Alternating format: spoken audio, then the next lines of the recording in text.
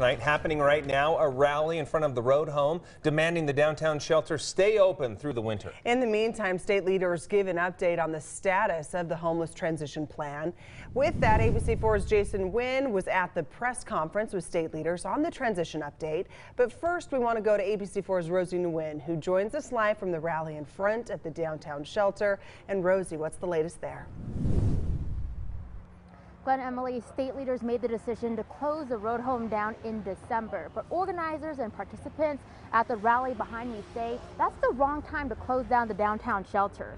They say it can mean life or death for some homeless individuals who will be left out in the cold.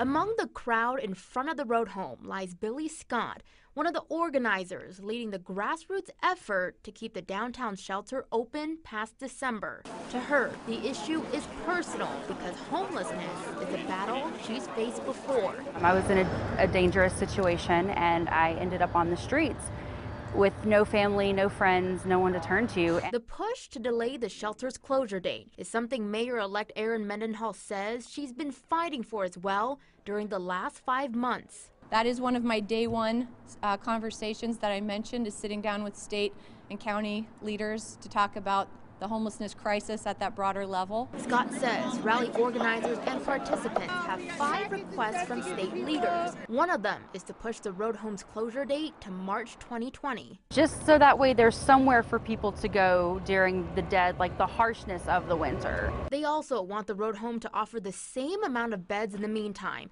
and change legislation to bring in more beds to the new shelters. It's approximately 700 beds between the three of them and that's roughly 400 beds less than the road home had provided. Mendenhall says she's going to wait and see if the shelter's transition is sufficient to the needs of the city's homeless population.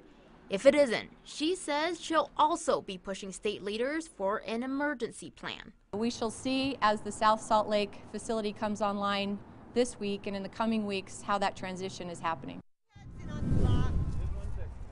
Now, some of the other requests rally participants have, they don't want any arrests or any or tickets to be issued until the original numbers of beds can be offered at the road home. They also want free fare for public transportation to be offered to individuals who will be living at the new shelters. Now today, state leaders gave an update on that homeless transition of the shelters. ABC4's Jason Wynn joins us live from downtown Salt Lake City with that side of our team coverage. Jason?